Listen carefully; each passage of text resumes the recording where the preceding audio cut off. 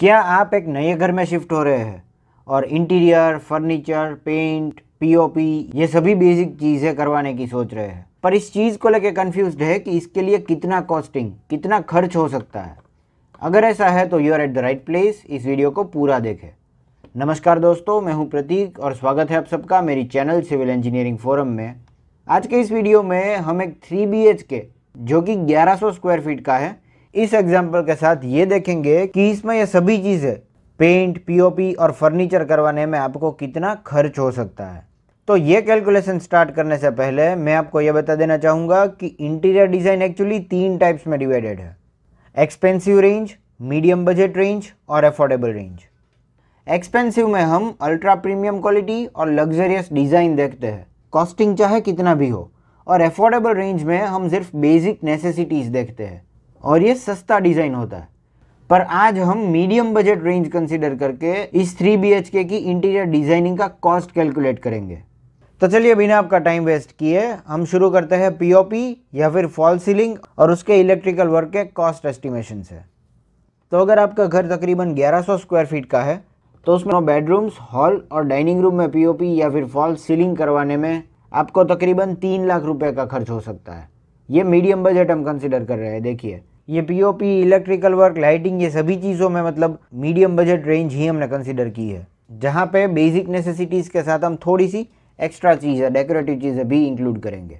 तो पीओपी या फिर फॉल सीलिंग का खर्च यहाँ पे हो जाएगा तीन लाख रुपए और पीओपी का इलेक्ट्रिकल वर्क और लाइटिंग का खर्च हो जाएगा तकरीबन 0.5 लाख यानी कि पचास हज़ार रुपये तो ये प्लास्टर ऑफ़ पेरिस या फिर फॉर सीलिंग और उसका इलेक्ट्रिकल वर्क में टोटल हो जाएगा 3.5 लाख रुपीज़ तो बेस्ड ऑन दिस अगर आपका घर थोड़ा छोटा है, यानी कि टू बी एच के का है तो आप रिलेटिवली इसका जो कॉस्ट है वो कम कर सकते हैं। और ये रिलेटिविटी आप सभी चीज़ों में यहाँ पे इस वीडियो में जो दिखाया मैंने, उसमें रिलेट कर सकते हैं। ताकि आप टू बी एच के का या फिर आपके वहाँ पे जितने स्क्वायर फीट कारपेट एरिया है, उसका एस्टिमेट निकाल सके। नेक्स्ट हम बात करेंगे फर्नीचर की। तो ये three bedroom hall kitchen 1100 square feet के हम अपार्टमेंट बोल सकते हैं, या फिर घर हो तो ये भी 1100 स्क्वायर फीट का है। तो इसमें फर्नीचर का कितना खर्च है, उसके बारे में हम डिटेल में बात करेंगे। तो बेसिक नेसेसिटीज़ जो है सोफ़ा टीवी यूनिट और डाइनिंग टेबल ये अच्छी क्वालिटी का विनीर बेस्ड या फिर लेमिनेट बेस्ड अगर हम बनवाते हैं या फिर बाहर से रेडीमेड खरीदते हैं तो तकरीबन ये तीनों चीज़ों का मिला करके हो जाएगा दो लाख रुपए। फिर डबल बेड यानी कि किंग साइज़ बेड की अगर हम बात करें तो तीनों रूम में अगर हम किंग साइज़ बेड बनवाए तो इसका खर्च हो जाएगा दो लाख रुपए। फिर वार्ड्रॉप की बात करें तो तीनों रूम में हमें वार्ड्रॉप भी चाहिए होंगे। तो ये तीन बनवाने का खर्च भी हम दो लाख रुपए कंसिडर करेंगे। फिर बात आती है ड्रेसिंग की।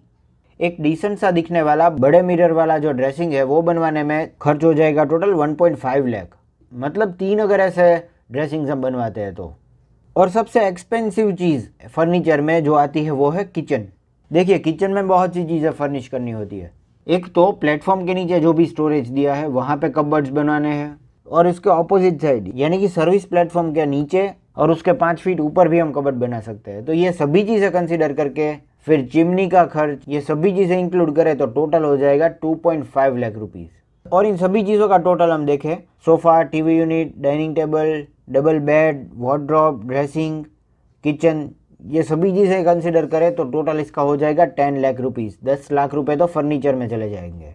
एक अच्छी क्वालिटी का डिसेंट थीम वाला हमने फर्नीचर सिलेक्ट किया है तो। बाकी रेडीमेड हमें सस्ते भी मिल जाएँगे, पर उसके लिए क्या है कि मैं अफोर्डेबल रेंज वाला अलग से एक वीडियो बना दूँगा, जिसकी लिंक भी मैं इसके डिस्क्रिप्शन में डाल दूँगा तो you can find that next अगर हम बात करें पेंट की मतलब वॉल पेंट की हम बात करें तो इसमें यह चीज़ हम कंसिडर कर रहे हैं कि आपकी जो वॉल्स है, क्योंकि आपने नया घर खरीदा है तो वो फिनिश्ड है, पुटी बेस्ड है, पुटी लगा दी है इसमें ऑलरेडी तो इसमें मटेरियल प्लस लेबर ये दोनों कंसिडर करके टोटल हो जाएगा एक लाख रुपए। सिर्फ़ वॉल पेंटिंग का खर्च। अगर आप इसके बारे में डिटेल में देखना चाहते हैं कि वॉल पेंट कराने में कितना खर्च हो सकता है और इसके स्क्वायर फीट हम कैसे कैलकुलेट कर सकते हैं, इसके बारे में अगर आप डिटेल में जानना चाहते हैं तो इसके रिगार्डिंग भी मैंने लिंक डिस्क्रिप्शन बॉक्स में डाल दी है तो आप वो भी चेक कर सकते हैं।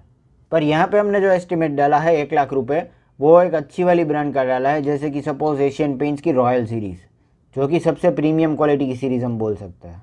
तो पेंट का खर्च हो जाएगा एक लाख रुपये अब हम करेंगे इन सभी चीज़ों का टोटल पीओपी का खर्च हमने देखा three point five lakh rupees फिर फर्नीचर का खर्च टेन लाख रुपीज़ और पेंट का खर्च वन लाख तो ये सभी चीज़ें टोटल करें तो ये हो जाएगा fourteen point five lakh rupees तो ये होगा आपके इंटीरियर डिज़ाइन फिर इसके मटेरियल और लेबर का टोटल कॉस्ट तो बेस्ड ऑन योर रिक्वायरमेंट आपकी जितनी रिक्वायरमेंट है, उसके बेस पर आप इसमें चीज़ें कम या फिर ज़्यादा कर सकते हैं।